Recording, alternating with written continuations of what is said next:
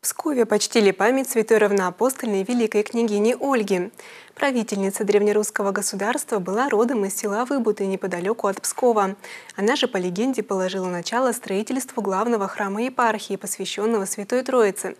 И в день памяти великой княгини митрополит Псковский Порховский Тихон совершил божественную литургию в кафедральном соборе города.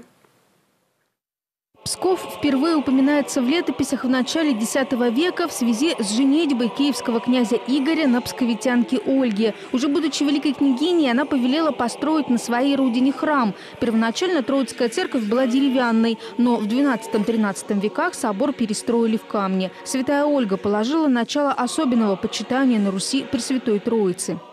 В чем было ее главное величие? Государственного деятеля, матери, бабки, Женщина, принявшая христианство, все это так.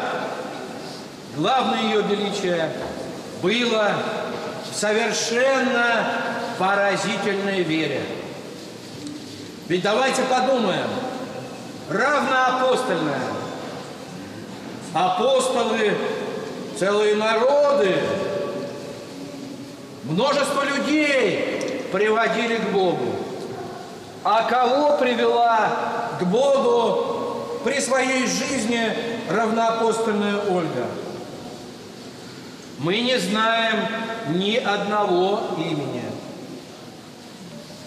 Она сама пришла к нему.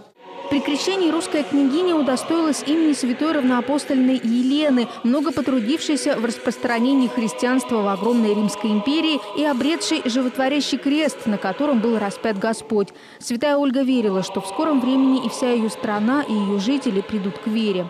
И святая Ольга всем сердцем восприняла это, не рассуждая,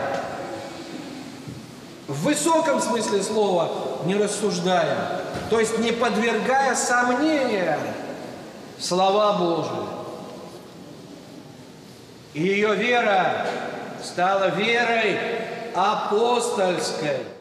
Сын Ольги Святослав не стал христианином, но ее внук, святой равноапостольный князь Владимир, не только сам принял евангельскую веру, но и крестил своих подданных. При Владимире Святославовиче совершилось крещение Руси, то, о чем мечтала святая равноапостольная Ольга.